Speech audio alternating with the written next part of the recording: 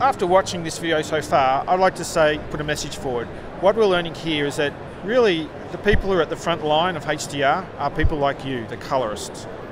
But you've got a lot of people standing behind you, and you actually have to help them understand what's going on going forward. So, communicating with the cameraman more, a bit more on set to start off with, a lot of learning processes here. My coverage this year is mainly to start the learning processes and flag the fact that we've all got to jump into another learning processes. As we did with going from standard def to high definition television, HD, the fact that we had to change the way we made sets, now we have to change the way we have to light for high dynamic range.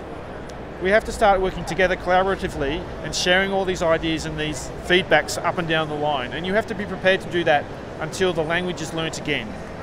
Yeah, one good thing is that because we work so closely with the director of photography, um, I will work for the next project, uh, Independence Day Resurgence, with uh, Markus Föderer, it's a German DP. He really started to embrace the idea of HDR. So what we are doing is we will do a pass at Dolby for the project, and he's learning from there how to go back in the set and take advantage of it. Yes. So we, we both together learn at this point from the back end how to redo the next movie better from the front end. That's right, yeah. It will take a few iterations. That's right, yes. And yeah. everybody's experimenting a little bit.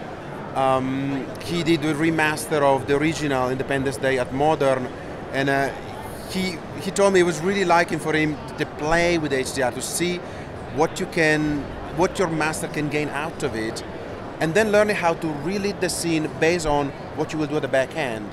It's it gives you a sense of freedom um, of experiment in a way. That's right, yeah. I mean, it's, it, I don't know how to tell a new DP do HDR Yeah, if yeah, you yeah. never saw the That's actual exist- product. that's it's, right, It's, it's very difficult. It's, that's right. It's like trying to a blind man what the sunset looks like. You, you need to see it. It needs You to need be to see something it you- yeah, once, and then, right. oh my God, Yes, that's, that's a you haven't understand. Yeah, that's right.